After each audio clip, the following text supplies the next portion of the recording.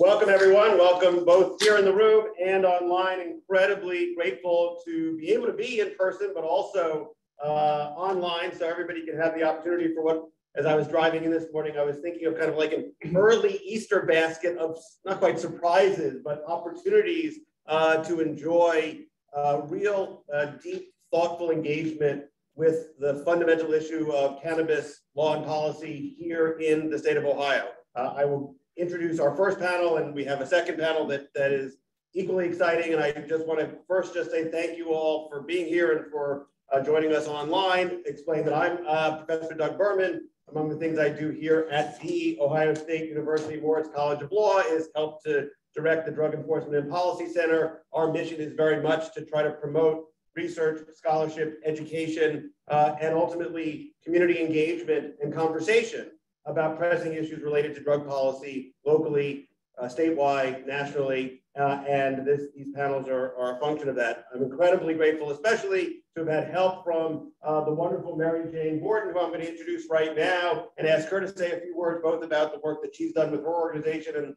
um, the people she's worked with to help us both put this panel together and just ensure that our center helped move forward just such a pressing and important conversation uh, for the state of Ohio and beyond. So with that, Mary Jane, thank you. Thank you, Professor Berman. Hopefully everybody can hear me. Not raise your hand. I can take a mic. Um, it's an honor. It's an honor and privilege to be here. Thank you, Professor Berman, for working with us on this, and we worked with you on uh, this presentations today. I think we have a set of very dynamic panelists here, and we're all going to learn a great deal. Uh, the Natural Therapies Education Foundation, which is one of the groups that I've co-founded, uh, is about natural therapies, therapies that uh, are therapeutic for people that may not involve, certainly don't involve chemistry that we're finding in a lot of uh, pharmaceuticals. And so without further ado, I don't want to spend a lot of time on that, but again, Natural Therapies Education Foundation can be found at our name.org on the internet. And so our panelists here, our esteemed panelists here today, of course, Professor Berman, uh, then we have here Senator, Ohio Senator Stephen Huffman. Welcome. Ohio Senator Stephen Huffman is a medical doctor and represents the district that encompasses Miami and Preble counties. As a representative, he introduced and helped pass Ohio's medical marijuana law, which was called HB 523. And as a senator now, he has introduced an expansion to that program called SB 261 this, this legislative session. Next, we have Tasha Rountree. Tasha's from Dayton, and she's a registered medical marijuana patient in Michigan and a registered medical marijuana caregiver in Ohio. She's an MVED coordinator for Major Moves uh, and a longtime cannabis activist in Ohio. And she also organizes expungement clinics to assist with removal of marijuana convictions. Next, we have Justin Sheridan. Justin is an attorney and a recently appointed Director of Medical Marijuana Operations for the state of Ohio Board of Pharmacy. And the Board of Pharmacy, right now, anyway, right now, oversees the retail dispensaries that sell medical marijuana to patients. And finally, we have here Andrew Makoski. Sorry, I didn't say finally. Yeah, finally, is an administrative attorney with the Ohio Department of Commerce that currently oversees the cultivators, processors, testing facilities, that comprise the Ohio Medical Marijuana Control Program. Now, I want to mention this. Under Senator Huffman's SB 261, proposed um, legislation and, and, the, and the adult use legislation that we're going to be talking about later today, the Board of Pharmacy's functions will be transferred to the Department of Commerce. Okay, I'll leave it at that. Thank you, Mary Jane, very much. And I appreciate it. I actually thought I was going to have to do the introduction. So I'm already grateful to, to have part of my job for me done as the moderator of this panel. I'm also uh, grateful more generally for Mary Jane and her organization and the people with it, helping us to coordinate uh, getting these terrific individuals here to help us better understand kind of where we are with the medical marijuana program in Ohio and then where and why there's advocacy uh, to move forward.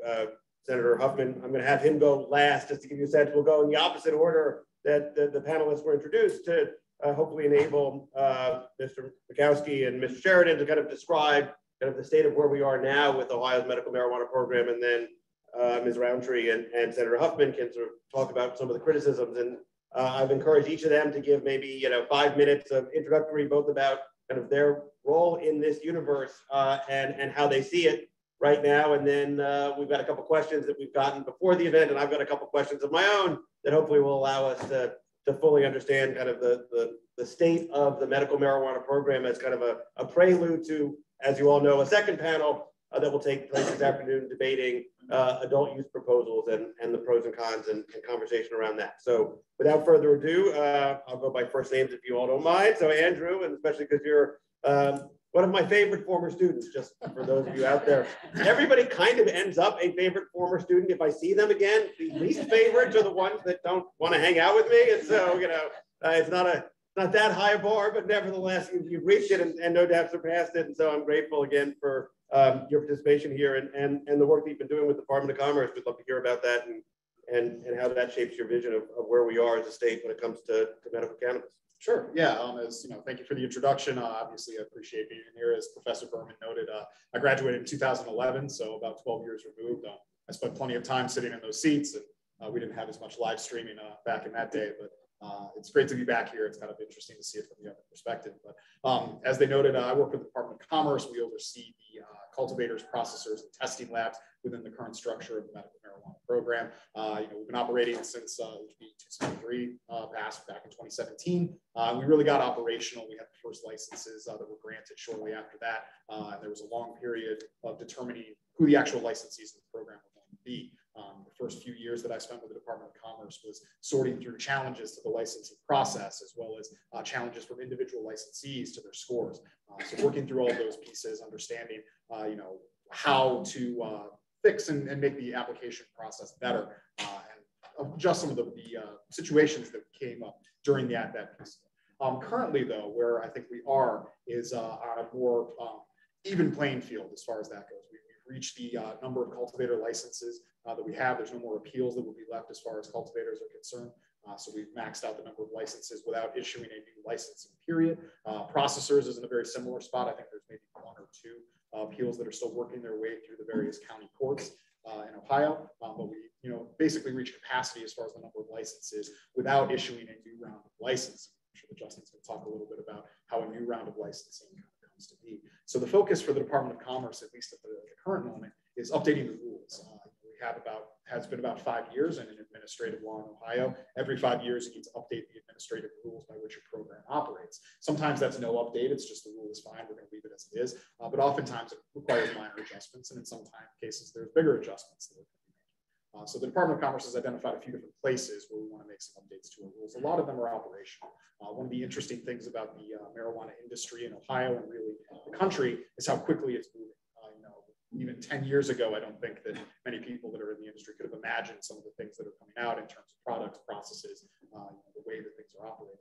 So we are uh, doing our best to kind of catch up and adjust to some of the new things that we've see. That includes things like novel cannabinoids. Um, recently, we have a, uh, a rule update um, that expands the definition of THC within the program. It seems like a kind of a simple thing uh, to define THC, but the way that the program has defined it uh, was specifically focused on Delta 9 THC, the active ingredient, or what most people would call the active ingredient in marijuana. The novel cannabinoids that have uh, found their way into different formulations, different processed products, and some of them are occurring naturally, uh, aren't really addressed in any sense. So uh, there was a lot of talk about how do we address this. And we recently passed a rule update that wraps the THC definition and includes some of the other novel cannabinoids that you would find, not just Delta 9 THC, but include Delta 8 or Delta 10 or some of the other ones that we are uh, starting to see, and wrap them up into the caps that the Ohio program has. Ohio program has a 35% uh, THC cap on flower products, uh, and then there's a 90 or sorry, a 70% uh, cap on uh, manufactured products. And there's proposals to make some adjustments along. So the main thing that we're into right now is trying to find the best way to update the rules that we have, uh, make adjustments in places that are necessary, or keep the things that, uh, that we find to be effective or that we found to be useful a standpoint. So it's, it's certainly an interesting industry to be involved in. Like I said, it's very quickly moving. we have you know, obviously there's new things that pop up every day, just something that happens in California or Texas or Oklahoma. Uh, you know, we try to make sure that we are in line with the peer states that we have, those that are around us, So that's kind of the, the way that the department has been approaching the last six months and, the last year since we've sort of run through our license. that's, I think, where I'll leave it for there. Wonderful, Andrew. Thank you so much. It sounds like you have plenty to do, notwithstanding that uh, I know there are a bunch of proposals. We'll be talking about those in a minute that would give your uh, department even more to do. And so, um, you know, it's a reminder. I tell my students this all the time. There is so much law here, uh, and it's remarkable uh, how challenging it is, as you mentioned, not just the industry moving so fast, but states around the country and and um, you know the consumers and patients also you know being eager to make sure the law uh, keeps up to date is, is part of the challenge. And you know, against that backdrop, I think Justin, your your department uh, has been keeping busy and or your board, sorry, apologies. Uh, I know that comes up all the time in this context, and it's one part of what I think has made uh, Ohio's medical marijuana program so interesting is having uh, a bunch of different departments and boards that have different responsibilities uh, within the fabric of the overall program. And so uh, hopefully you feel comfortable talking about the work uh, that, that your board has been doing and, and you know, maybe some of the challenges and, and um, dynamics uh, that surround them. Sure. Um, again, Justin Sheridan. Uh, this is my third week, I believe, as the director of medical marijuana All right, well, we operations at the appreciate it. board. So, Yeah, we were gonna have this panel two weeks ago, but we figured we'd Yeah. give you a little bit of a break. so I apologize for those bags that you might have. I said, uh, uh, extremely uh, busy. Um, in terms of a program update, uh, currently there are 252,000 patients uh, that have received uh, uh, recommendations in the state of Ohio. Uh, of those of those numbers, 133,000 approximately have both an active recommendation um, and an active registration, which gives them the ability to purchase marijuana at dispensaries. Uh, we have approximately 16,000 veterans, 18,000 uh, patients that uh, are designated as indigent status, and then uh, a little over 1,000 with a terminal diagnosis uh, status. Back in June of 2021, the Medical Board of Ohio did approve three new qualifying conditions being Huntington's disease, uh, terminal illness, and uh, spasticity. We have seen several patients with those qualifying conditions receive recommendations. And then there are approximately, I think, across the, uh, the program, at least with respect to dispensaries, we do license employees, and right now we have approximately 1,800 employees uh, that are spread across 58 uh, dispensaries. Uh, we do have 58 operating dispensaries that, that have received certificates of operation. The most recent one was released uh, a couple weeks ago up in the Cleveland area. That's Amplify in District Northeast 2. Um, so that really does round out the number of dispensaries that we anticipate issuing certificates of operation, at least through that first uh, RFA process. There's potential one additional license that could be issued, uh, but again, that's uh, that's currently in litigation. Um, with respect to, uh, there's, there's a couple of different things that have changed uh, recently. Um, with RFA one, obviously we, we grant certificates of operation. And those are specific to certain locations. Once a dispensary receives a certificate, uh, once they've been in operation for a period of 12 months, they're allowed to, to sell or change ownership with that license, which we've received several applications um, within the past year, year and a half. One of those locations is actually relocated, and that's Zen Leaf up in the Canton district. That's the first dispensary to relocate. It's a pretty uh, intensive process. It's very similar to the process that an applicant uh, would undergo with respect receiving its initial certificate of operation. Um, with respect to RFA2, which is probably the most hot button um, topic, um, back in April of 2021, the board um, performed an analysis to determine whether additional dispensary licenses were needed. They made that determination uh, that 73 additional licenses uh, should be issued across 30 uh, dispensary districts, districts, excuse me, throughout Ohio. In September, uh, we, we went through our five-year five year uh, rule amendment process. We updated the majority of our rules. There's still a few that need to be updated. Uh, and then later, uh, tail end of September, we did release that second request for applications. The application period ran between November 3rd through November 18th of 2021. We received approximately 1,400 applications. Uh, and we utilized a drawing component, which is a different process than the board used with the first uh, request for applications in which licenses were issued on a competitive uh, evaluative process. Um, that drawing was performed by the Ohio Lottery Commission, uh, and that was performed at the end of January. The board released, uh, following that drawing, a ranked order list of the applications that are currently selected to receive those 73 provisional dispensary licenses. As part of the RFA2 process, once the lottery uh, was performed, the board was then required to undertake a uh, review and evaluation of those 73 applications to ensure that they're in compliance with Ohio, uh, Ohio law, Ohio regulations, as well as the, the RFA uh, instructions itself. Um, currently, we are we're still in the process of evaluating those applications. Um, we have sent a number of requests for additional information or clarification to, uh, to the various applicants. We've received responses and we are parsing through those um, and making those determinations uh, with respect to whether the, we're able to issue licenses to those applications. Um, that's as much of the update as I have.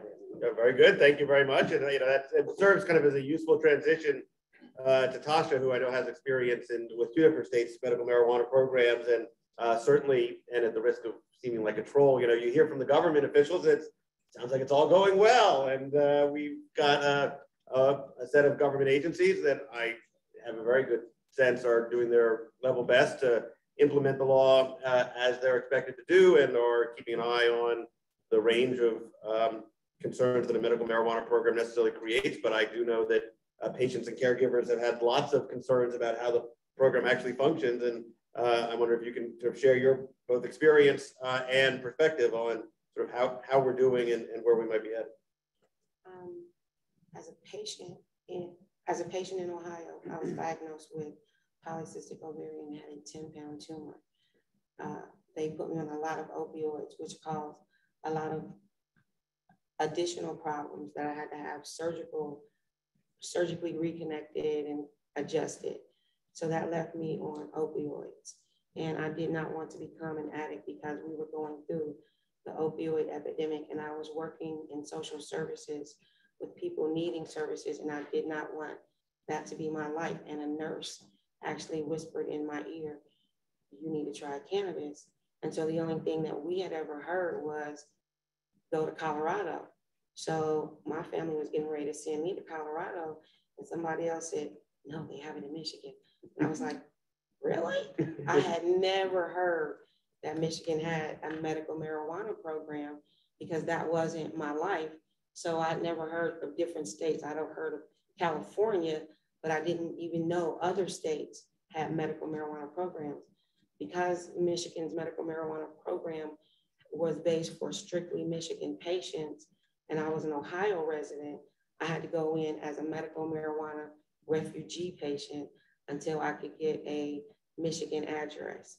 Um, and it was actually the caregivers that took care of me because I could not legally go to a dispensary because I wasn't a legal resident.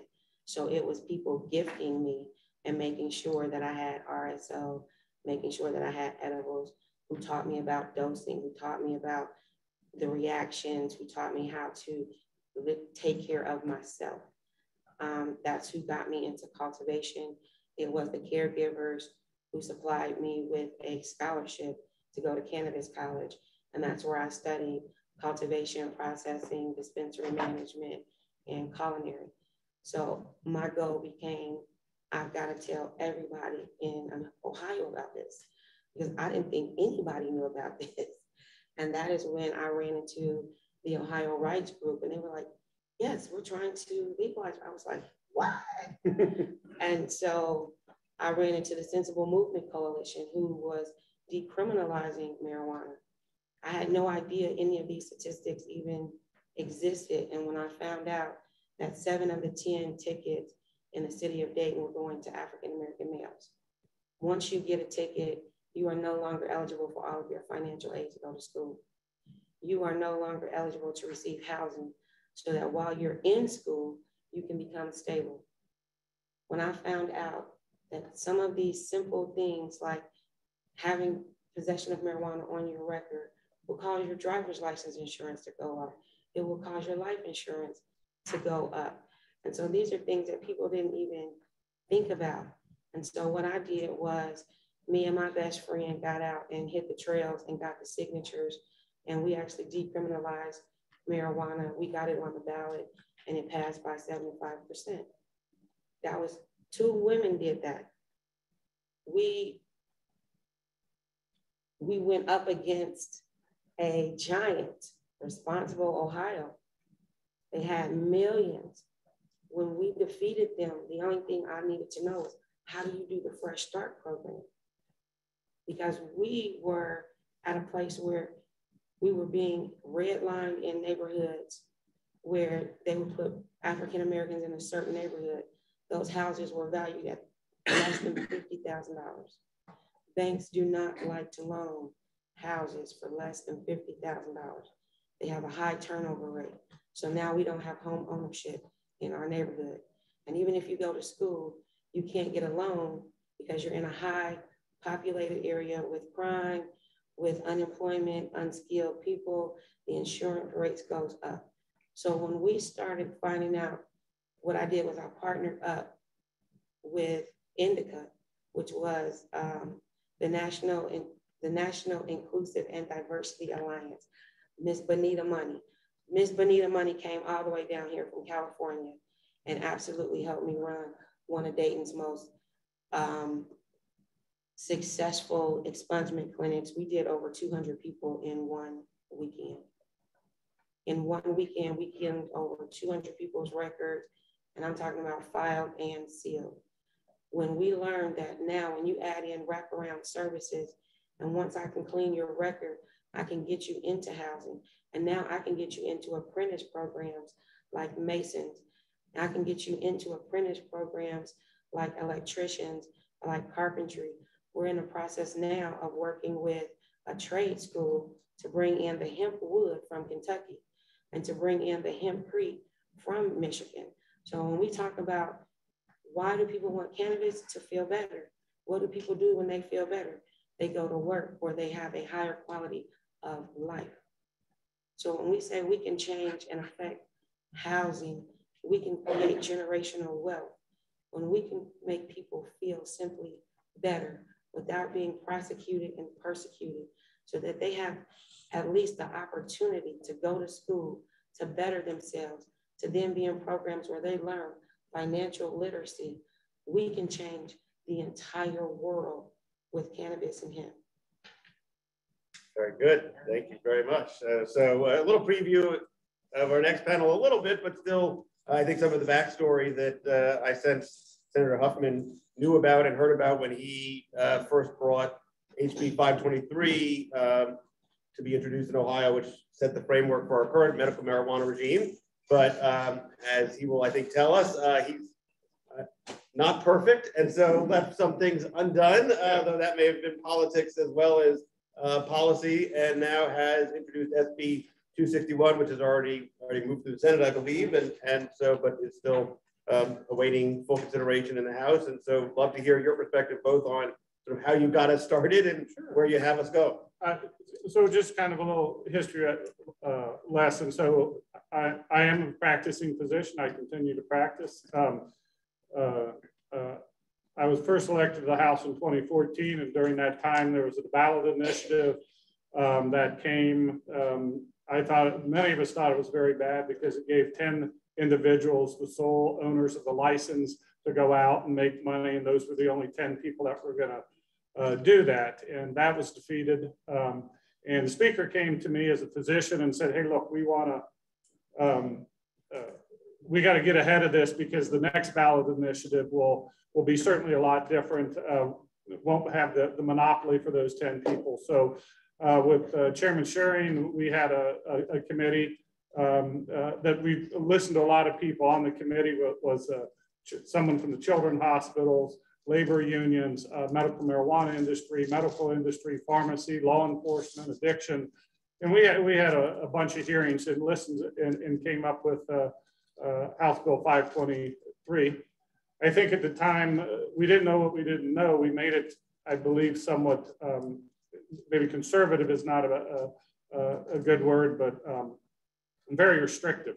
Uh, and, and, and, I think someone said before that this is an expansion, uh, 261. I would say it is a, um, it's improving. It's not to, to have a, a, a, whole lot of uh, expansion. It is to fix some of the things that we didn't know what, what was going on uh, in 523 about uh, six years ago.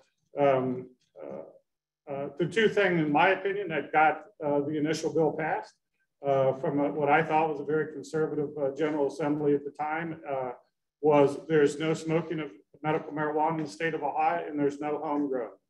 Uh, and those were two things that uh, that would have never, if that was, they were in the bill would never have passed. I mean, in my opinion, homegrown is recreational because someone will, um, if you're going to grow five plants, the neighbor kid's going to steal one, you're going to sell a couple.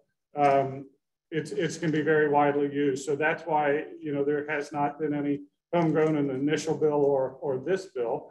Um, uh, you know, people have, have, approached me and said, well, we should have care, caregiver grow, which is you grow for your patient. And again, that seems to be um, an expansion in, into recreational. You know, as a physician, I um, Dr. Johnson was the first uh, physician in 10 uh, elected to the General Assembly. I was the second, and then I was the first when I moved over to the to the Senate four years ago, three and a half years ago. Um, and right after we passed the bill in 16 or so, people would come to us and say, hey, look, this isn't go, going right. Um, we need to change this. And I said, well, most of the time after a bill is passed, you need to wait two, three, four years um, to see actually how, how it settles down and everything. And I think pharmacy and commerce, um, again, they were very conservative uh, and very diligent in making the rules because we set kind of the framework and they were, were setting the rules. Um, and so we had to let this uh, industry, to me, in my opinion, mature for two or three years uh, to see what was right about it, what's wrong about it now. And that's how, you know, 261 has, has, come about. Um, I don't believe that there's any huge changes in it. I mean, uh, um, and one of the things that we've tried to look at is um, um, the cost. Um, and, and, so part of the thing is, and I, I forget what he said, um, there's, there's a fair amount of people that have a, a medical marijuana um, card, but have never bought a product. Uh, and there's a number of reasons we can talk about why that happens. But um, we're trying to drive people with this bill back into the legal market and to get out of the black market. And part of that is to um, you know, to lower the price, make it easier. Um, we're in this bill We'll increase the number of dispensaries based on the number of patients. Um, uh, you know, I think that uh, you know we we went to the House fairly quickly, and, and or the Senate rather quickly. Um, uh, you know, those were also done with the, the support discussion with the governor, and now the House is is is trying to refine that, and hopefully in the next uh, month or so, they're um, going to have a, a, a, bill that we we can get out. So. Um, very good, wonderful. Know, I, am going to start the other way with sort of follow-up questions because it sounds like um, you know you mentioned home grow and also smoking as sort of key elements, um, and, and, those are preserved in your uh,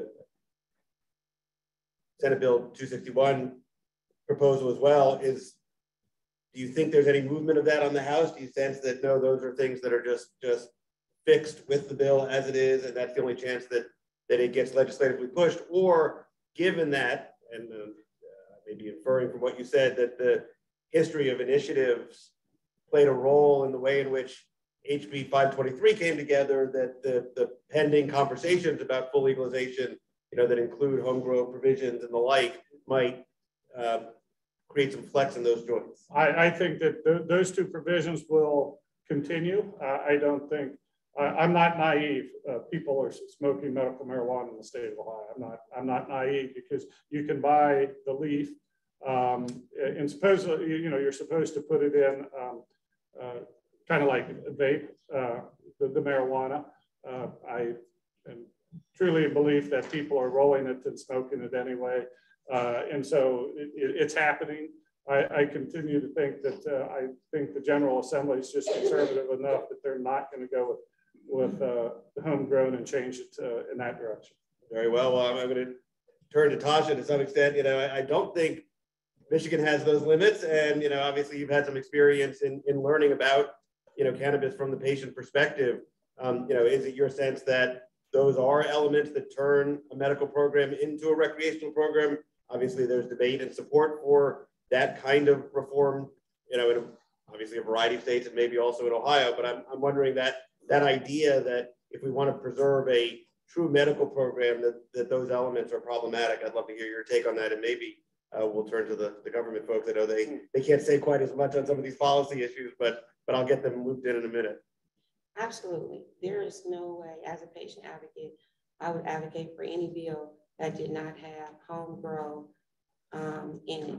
Without the ability to have home grow in it, you cannot take care of yourself.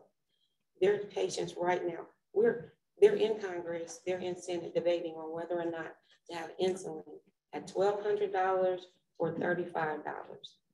If I can grow my own beans, greens, potatoes, and tomatoes, why should I not be able to grow my own cannabis?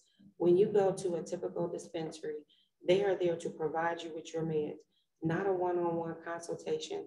No one's gone to school to tell you what strain works best for you, what delivery method. Now, when it comes to smoking versus vaping, smoking got booted out because it is the least effective. That does not mean it is not effective. So the ability to smoke should be in any bill. Because we have a three letter word, non, non-combustible means we are not allowed to smoke. That is why we don't have reciprocity. If dispensary owners wanted more, they wanted more sales, they would welcome more customers. The same way Michigan will honor our patients' cards, we should be honoring other patients' cards from other states. And instantly, you would see people dispensary numbers go up because people from out of town would able to be able to use our facilities. People, we have a, a, a system that is based on the sickest and the poorest people in Ohio. We literally are taking care of terminally ill people, but we're trying to make money off of it. So we need caregivers and we need schools to be able, if I can go to Carousel Beauty College to get my hair done at a cheaper rate because it's by a student, I should be able to go to a cannabis college and get taken care of by a person going to school to learn to be a caregiver. A caregiver simply is a specialist. If we're going to call this a, a medicine, why don't we call caregivers a specialist? Why don't they go to school to get a certification so that they have now a, a educational background to say that they are certified in working directly with patients who have special needs. We have specialists in everything else in medicine. Why wouldn't we have this in cannabis? If that's what we need to call them, they can go to a cannabis college and get a formal education at an accredited school. And now we should have a caregiver caregivers should be able to work directly with other cultivators to say, I found something that works for these type of patients. Now we can mass produce it and work with the caregivers or work with the cultivators who have license to cultivate. Caregivers should be able to work with processors to say, we don't need to make a hundred thousand packs of gummies. We need to make 10,000 packs of this type of gummy that helps with this type of patient to have a more specialized skill. If I can go to, to the grocery store and get wheat bread, white bread, potato bread, we should have a specialized skill. And what that does as a caregiver, it says, let me open up my skills. So now we're talking about building an economic platform where you go from being a caregiver to a micro giver. So now we have a way of going from a small business to a medium business to a full blown by making these people work together, by having a voice and working directly with patients. The patients are telling you and dictating to you what they need. We're just giving them, let's say, hey, you need this. Hey, this is popular. This is hot. Here, have this. Versus them saying, what do you need and how can we better take care of you? Recreation means you know what you want. I don't need to work with you. Medical simply says, if you have a problem, we're here to work with you to make sure that we work specifically with you to get you what you need.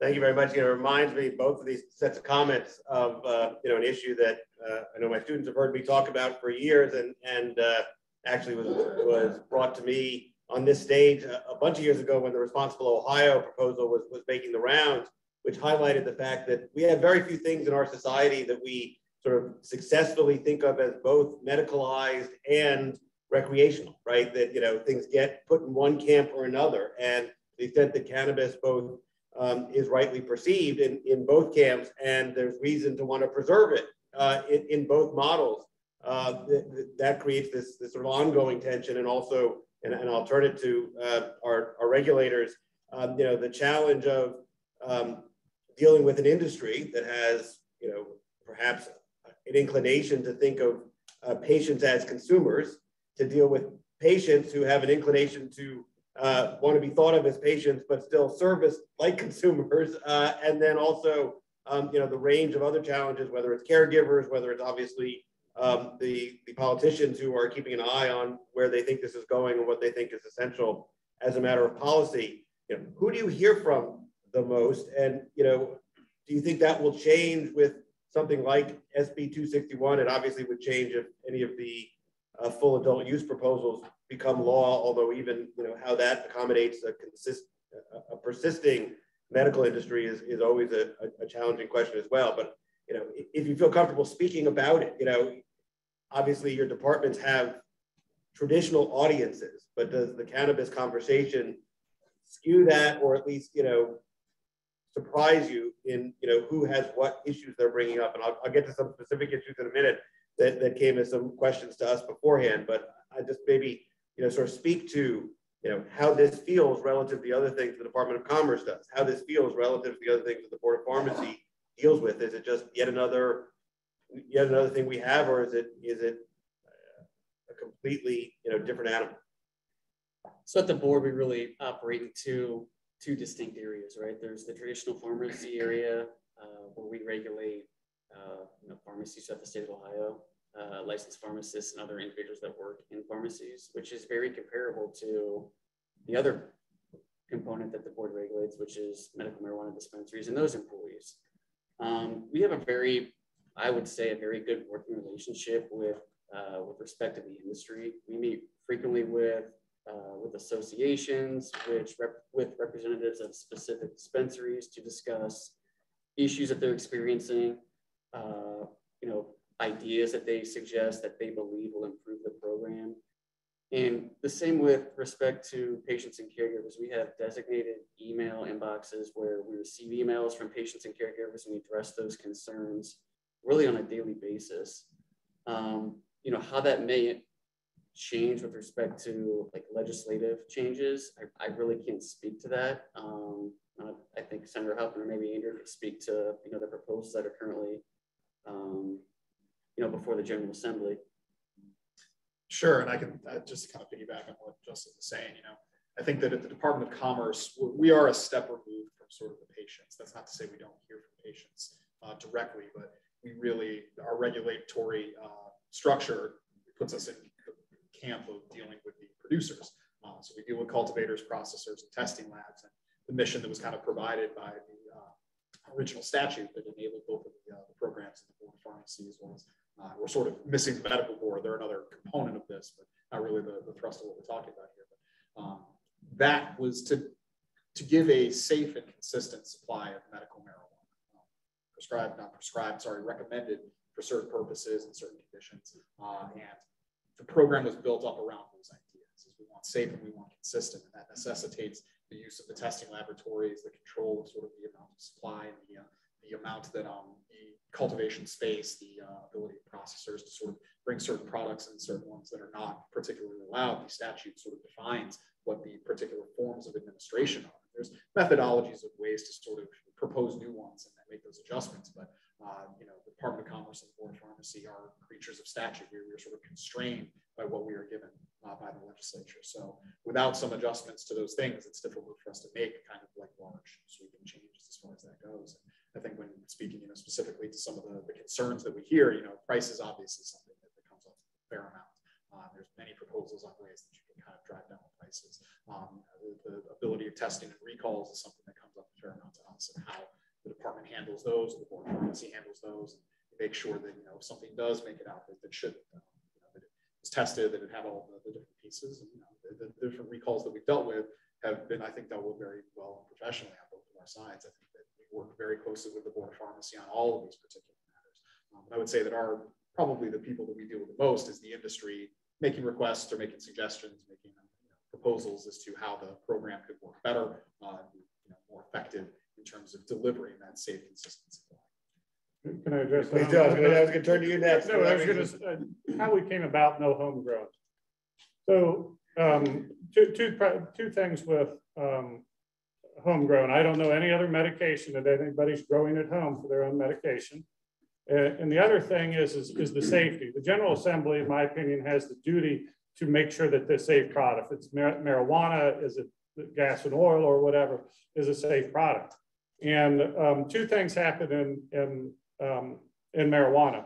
One, uh, if you're spraying, there's bugs, bugs that eat marijuana. And if you're spraying pesticides on that, and then you're consuming the pesticides, one of the things Department of um, uh, the testing does is to test for pesticides and make sure that there's no, uh, that chemical's not in there. The other thing that happens is um, there's toxic mold. So often you hear from amateur growers or, uh, and there's a concern from professional growers, if they're growing inside, within about two to three years, that warehouse where they're growing is filled with a toxic mold that will get onto the plant that can cause a lot of harm if, if people are smoking it and, and eating it. So, um, you know, back in the 60s, um, the THC level, the average THC level of marijuana was about five to 6%. Uh, today, there is about 5,000 different strands of, of marijuana uh, in the, in the, the um, THC potency gets to, to be about 30 to 35%. So it's a lot different than before. Uh, and so I, I, think that because of the safety uh, and, and, making sure it's a quality product is, is one of the other main reasons not to have, to have homegrown. I have a feeling we, we have other comments on this thought, although I want to get back to Senator Huffman about the, the regulatory structure in his in his new proposal. But Tasha, go ahead. I can see you, you've taken a, a, a sip of drink, so you're ready to respond. That is so ridiculously crazy, ridiculous. How many of you wake up on Saturday mornings and go to a farmer's market to buy your bread? Does your food have to be regulated? No. How many of you eat cucumbers, tomatoes for vitamin C? Does, does, your, does your vegetables have to be regulated? No. So let's look at who's had the biggest recalls. How many recalls do we have in the state of Michigan from caregivers? That answer would be zero. Now, would we like to talk about the recalls in the medical marijuana field in the state of Michigan, where 90% of all the dispensaries had to shut down and recall their product. So let's talk about public safety. Let's talk about how, how many of these dispensaries are now washing the weed in peroxide to prevent the mold. Know why? Because weed, I'm sorry, cannabis really should be grown in small batches unless you've studied large scale cultivation. And that you would learn in Israel. Israel is the number one place in the world where you study large scale cultivation. Again, as a caregiver in Michigan, I went to grassroots university and studied cultivation. So if we simply, if you go to Cleveland Cannabis College, they will tell you and show you how to grow organic. I'm not going to flex or pop my collar and say, I know Christina De Jesus from Galena. I know that Galena provides some of the best organically grown product in the state of Ohio with some of the best numbers of no recall, highest standards in the state of Ohio. I'm just going to say we can't use mythological reasons as to why we should not have home grow. So we let's have realistic reasons. Do we need security if you're growing outdoor? Yes, but if we have a secured number, a small number, like the number six or 12, so I would even be willing to compromise and say eight. If we can't compromise, none of these bills are going to pass because this is a Republican bill. This bill is designed to help companies. This bill, it has absolutely nothing to do with lowering the price for patients. The only thing they want to do is have more patient access. They want to be able to say, you have a broke toe, we can get you some marijuana for that. You have this, because the more patients that they have, the more cannabis they can sell. So this bill has absolutely nothing to do with patient care. This is strictly about money. This is strictly about business. But if they want to handle business, they should look at models where they do expand it, so they do have home grow, so that you do have a compromise between the Democrats and the Republicans. When people write these bills, expensively paid people like lawyers make a lot of money writing these bills, but none of these bills pass. And that's like saying, hey, but I did try. I wrote that bill. It made it through. It, it passed. It, it almost made it. Can I get another $12 million? And we'll try that again. And we'll try that again. Versus the Democrats and the Republicans compromising, coming together to write something that will actually pass. It's like, do I want to be on the winning team or do I want to say, we didn't win, but I made the final jump shot? We need some politicians who want to win. That means you're going to have to compromise. We're not, the people are not going to vote. And if they vote, if any senators, any state representative vote for any that does not have home grow, we will vote you out of office. Senator, do we have a response to I that? I just say that uh, six years ago, the initial bill was overwhelmingly bipartisan. Uh, um, uh, signed by a Republican uh, governor. Uh, when it came out, 261 came out of the Senate.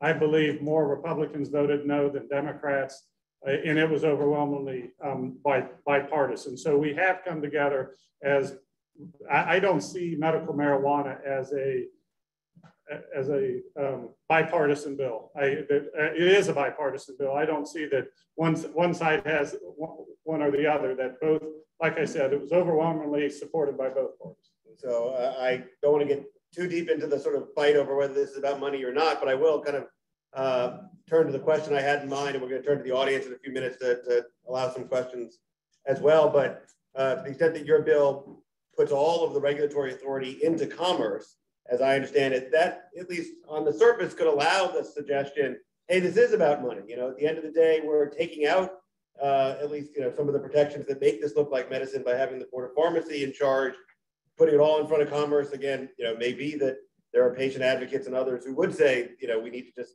get the commerce going and that will be good for patients. But is there, you know, uh, either an accounting for why uh, either you know commerce gets to be the the, the, regulatory king uh, under the new bill, or at least a, a, an explanation for why that isn't just an effort to give more power to the agency that, as Andrew uh, described, you know, industry has the most interaction with.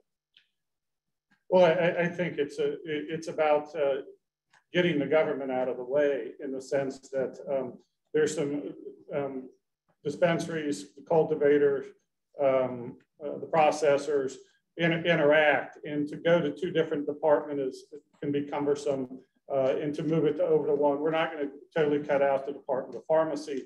Uh, if you know what the Ohio Automated Reporting System is, is so all medical marijuana is reported to a data bank, uh, like all narcotics. Uh, a physician can, uh, and so that will continue at the Department of Pharmacy. Um, and, a lot of 261 um, is about um, is about the business. It, you know, I, have had discussions with members of the General Assembly about, well, I'm not sure if we should have medical. Well, that decision was made five years ago. The decision now is to make the industry better. Um, you know, I'm told that the, the most Ohioans, the lot Ohioans get um, their medical marijuana from um, Southern Michigan uh, more than any other dispensary. We want to have them stay here in Ohio. Um, you, you, know, we have no tax on medical marijuana because the Constitution the state of Ohio says you shall not tax medication or food. Well, once we decided it was medication, we have we have no tax on that. So um, it, it's a large amount. Um, you, you, know, um, like I said, we didn't know what we didn't know. It's about uh, less testing because we know just because you move it from from the, the cultivator to the processor, it's in a sealed bag. It didn't change. We don't need to keep testing it every time it moves. So a lot of the bill is, is to um, uh, get rid of um, uh, the things that we didn't know were going to happen um, before. Very good. Thank you very much. Well, I think we have about 15 minutes or so, and uh, I know there are folks in this audience who probably know a lot more than me about a lot of these issues. And so I'm eager to open it up for questions, as is always the case. My students get first shot. So if any of them want to throw their hand up and uh, and, and ask something, I'll probably recognize them most quickly. But uh, but uh, anybody in the audience, and I, I know uh, the, the staff at the Drug Enforcement and Policy Center who I meant to thank robustly for getting us coordinated this way. Also may be able to, to monitor if there are any online questions. So please feel free to, uh, is it the Q and A or the chat? That's the better way to do that. Q and A. So feel free online to use the Q and A if you want to throw some questions in and uh, don't be shy, folks. Come on, we're here in person. This is why you came. Throw your hands up. Oh, way in the back. I'm going to go. Actually, I have a student first. You'll be next. You'll be second, sir. Go ahead, Alex. Uh, thank you all for coming. Introduce yourself, please. Uh, my name is Alex. I am in Professor Berman's marijuana law class. Uh, and we have been studying a lot of this stuff. In fact, my project compares uh, your Senate Bill 261 to Oklahoma's uh, medical marijuana regime. I'm not saying that you're going to allow dispensaries to open up on each side of the street, left and right, um, as far as the eye can see. But there are some comparisons. And uh, I, I want to practice by saying I actually think your bill is very good. And it's very carefully crafted to pass the legislature. You put in all this extraneous stuff that's controversial, probably. And I wanted to note that first of all. But I do think um, Tasha has point uh, with one provision in particular, and I just wanted to get your feedback on this. And it's uh, one of the provisions basically allows physicians to recommend medical marijuana for treatment of any condition, whether that's a stubbed toe or um, PTSD, whatever, what. And I just wanted, you know, as you're as a physician, how do you see uh, this being a medical marijuana program when, you know, I think I have here an LLC called Medical Marijuana Physicians of Ohio saying you get your card the same day. And is this really targeted to actually alleviate medical, medical conditions or really just with Um, well, well, thank you. I, and let me say, I am a practicing physician. I do not have a certificate. I do not recommend medical marijuana. Uh, I just, I, I, thought it was a conflict. I shouldn't pass a law and then go profit from it. So I don't do that. Uh, if I remember right, it, says that uh, uh it's based on the physician's education and training that they could uh, uh, recommend. and today, I believe in the House committee, they, they accepted an amendment that would say that is comparable to any other currently allowed condition. So um, I don't disagree with you. I've had many conversations on that uh, on, on that clause. Uh, um, and uh, the legislative process is a process. Um, and so sometimes you, you need to uh, give a little in one place and uh, get something someplace else. So I understand the, the controversy and the concern about that. Okay, in the back, as I promised. Uh, so my name is Tor, like Tor, I am a newly licensed pharmacist. So um, Tor is the um, my question, uh, Senator, it's not really much of a gotcha question. It's more like I wanted to clarify certain things. So uh, when you were discussing, I don't know if it was working point or general assembly, home growing whether it was now we're kind of making it recreational. Anybody can kind of go to the kids, the neighbor's kids, and you can start selling it. Uh, hypothetically, if I'm someone now, just go on the internet, know what I can tell the doctor, get my cards, go the dispensary, sell that supply to whomever neighbor's kid or whoever else I to sell to. Uh, I'm just circumventing the that's written right now. And what your fear is allowing vulnerable in that regard. So um, I, I, guess my question is, how do you reconcile the, that fact that there are some people, based on what I see in the boards, um, allowing themselves to have these cards and this access, but uh, as the gentleman mentioned, probably aren't always um, using them medicinally. Yeah. Let me jump in just because I want to be able to repeat the question. Hopefully I'll summarize it uh, quickly for the online audience. Basically, the major concern expressed before about home grow is that people would circumvent the law and it would make cannabis sort of accessible to everybody, you know, rather than consistent with medical conditions. But uh, it may be the case, in fact, I think you mentioned, you know, people smoke it in Ohio, so we, we've already had a discussion of the reality that all the regulations that are currently in place aren't consistently followed. Uh, the, the offer of the question uh, is a pharmacist who says, you know, he can tell that there are maybe some uh, who prescribe now and who um, make cannabis available uh, not consistent with existing regulations. So if we know there's going to be circumvention of any regulatory scheme, you know, why put more restrictions in place, you know, simply because we're worried that maybe, you know, some folks won't, won't follow the letter of the law.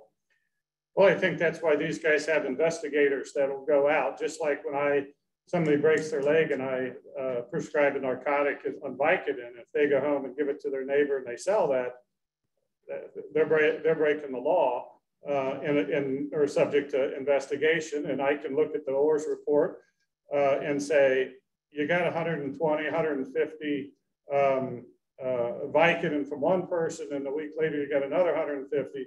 Uh, you know, this is wrong, and report it to the Department of Pharmacy, and they'll do an investigation. So I'm not saying it doesn't happen. I think that there are some, uh, uh, through the investigation process of these gentlemen's um, departments will look into that. So we're about to make it criminal again? So, so we're about to make it criminal again? Well, you know, it's, I, I, I think Tasha's raised the point, which is always a good one, which is the more regulations you have, the more you have questions about how enforcement is going to take place, not to use this as a way to get our, our regulators back in the conversation. How much do you view your role? How much do you worry about your role becoming about enforcement as opposed to facilitation, right? Because they're, they're both going on, you know, by necessity. And, um, you know, is that something that, that in, in the other work that your board and, and, and department do, just the inevitable tension, or is again this sort of constant question of is cannabis unique? Is there a unique challenge of um, you know an enforcement requirement among regulatory agencies because we know uh, that this is a product that's widely desired and that, that there may be many more players, industry players, uh, consumers, and others uh, who are eager to evade whatever regulatory restrictions are in place. At the board, uh, we have agents that deal exclusively with traditional pharmacies, uh, just as we do have agents that are devoted entirely to the medical marijuana control program. Both agents across both of those two industries, they investigate both administrative violations and criminal violations. Um, so I think that there are synergies there across the, the, you know the two programs, so to speak. Um, so I don't think that there's any difference between you know the work that agents that deal exclusively with marijuana, if there's any difference, you know, other than the rules and the laws that they, you know, investigate, um, there's any difference across the, the traditional pharmacy area. Kind of for Commerce's part, I think that there is a tension between these two ideas. I mean, not simply because medical marijuana is, you know, is federally still illegal. There's that aspect of it where all of this uh, could be deemed a federal crime in many cases. So there's naturally a tension between what is criminal, what is regulatory, what is the enforcement responsibility as far as that goes. Uh, I think that the design of the program, again, kind of to build a safe, consistent supply, includes looking at people that are deviating uh, from those particular pieces, whether it's, you know, a dispensary or a cultivator or something, if they're moving it outside of the supply chain, moving it outside of the testing regime, that's something that I think the legislature designed the system to avoid. So if there are people that are going to buy it and then sell it to them, you know, to friends or neighbors, uh, I don't think that SB 261 does anything to, to change that, uh, as it still would be deemed a sort of a criminal enterprise under the regular laws of the state. If you are out here selling weed or selling drugs, you are selling drugs. But what we need is an inclusive way to get people who used to sell weed or drugs into a legal market. They already know the market. We just need a way to get them a clean record so that they can participate in a legal arena. If this comes again with training, that is why we have schools like Grassroots University, like the Cleveland Cannabis College, because we can teach you how to cultivate, but we can teach you what the rules and the regulations are. If we have rules and policies and procedures for people to participate, you will have more people who will participate in a legal arena versus an illegal arena. It is only when we prevent those people from getting into the arena in the first place. Again, if you don't have a clean record, you may have get caught with a joint 25 years ago. You can't go to Cleveland Cannabis College right now. You can't work in the cannabis or the hemp industry. Central State University has a hemp program right now. I can't send people to, when we do an expungement program, I do wraparound services. and education is one of them. Because once we seal your record, you can apply for financial aid. I try to get people into agriculture and show them that cannabis is not the gateway drug. Cannabis is actually an exit drug. When you go, I work with a group called the 115 Project. That is a recovery program. When you go into recovery, they will, the doctor will first issue you a Valium and a muscle relaxer because when you are going through withdrawals, you will tend to shake, shiver, you will tend to go through convulsions. Some people have gone through seizures, some people have gone through strokes. What we can do is give you edibles. I have given people um, edibles, and then I've given people Benalieve's cream with the CBG in it, and that helps with the muscle aches. It helps with the muscle cramps. It will stop all of that. They will ask you at the 115, would you like to use medical marijuana or would you like to use pharmaceutical drugs? If they choose medical marijuana, I walk them through the process.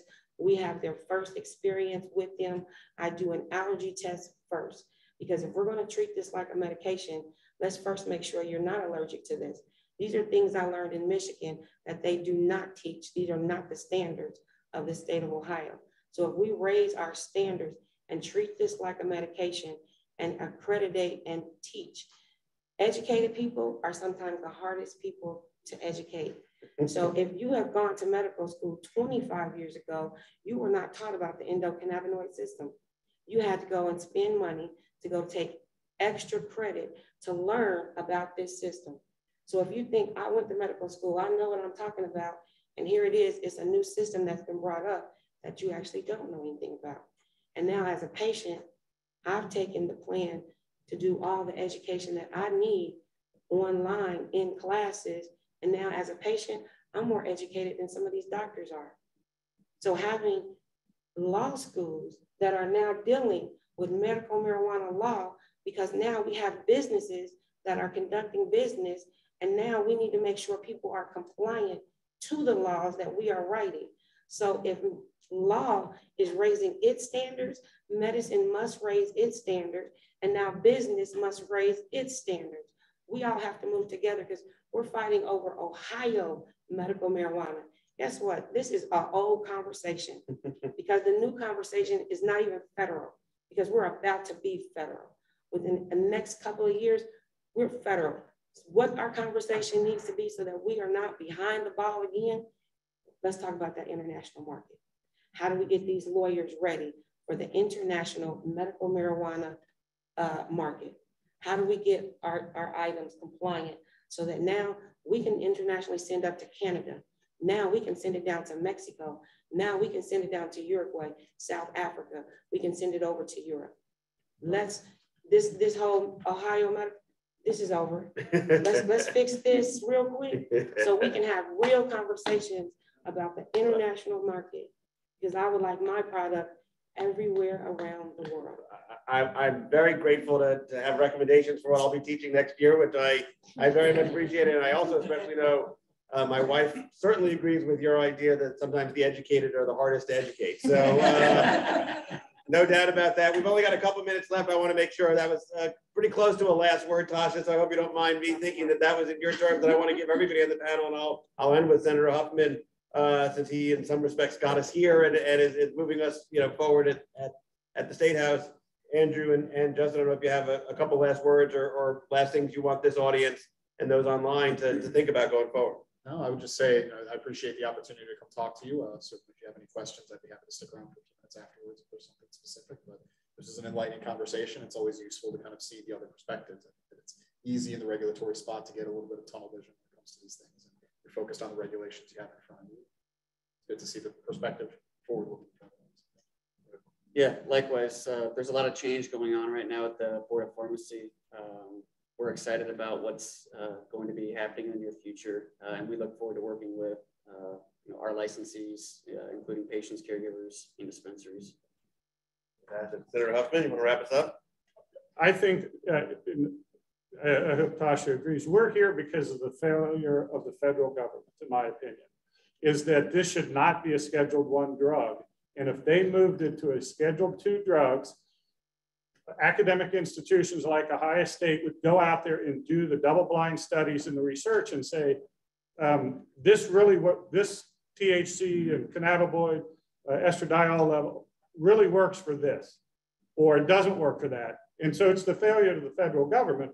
You know, medical marijuana has been approved by the FDA in the form of Epidiolex from um, GW Pharmaceuticals to treat seizures. And it's a product of medical marijuana that's, that, that's made in England. So uh, I think if, when the federal government, we've seen that recent, uh, the House recently passed something, um, and I, will disagree with you because uh, I don't think that's a very good law. I think that the states, I mean, we have about 38 states with medical, about 16, 18 with recreational, that the states should be the ones that decide that. Uh, um, and I believe also, um, you know, Representative Ferguson's here, we will have recreational sometime in the near future. It's the near future, three years or five years or 10 years, but I think we will. And um, uh, I just look forward to working with you guys and, and the, the regulatory people to, to get a, a good product for the patient. That's what it's all been about for.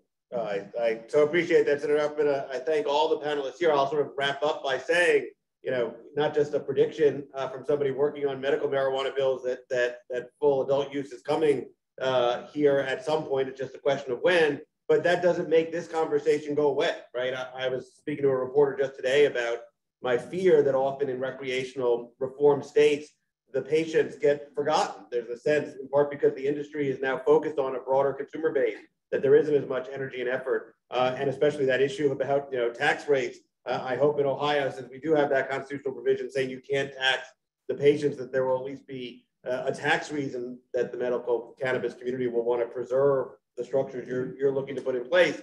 Uh, and so those are important conversations to continue, even if uh, recreational reform is inevitable. That's what our next panel is going to be discussing uh, across a variety of dimensions. And uh, I'm just eager at this point to give us some time for transition and to thank our panelists here for. So I think that was five minutes for transition. So uh, let's head on up there and thank you so much.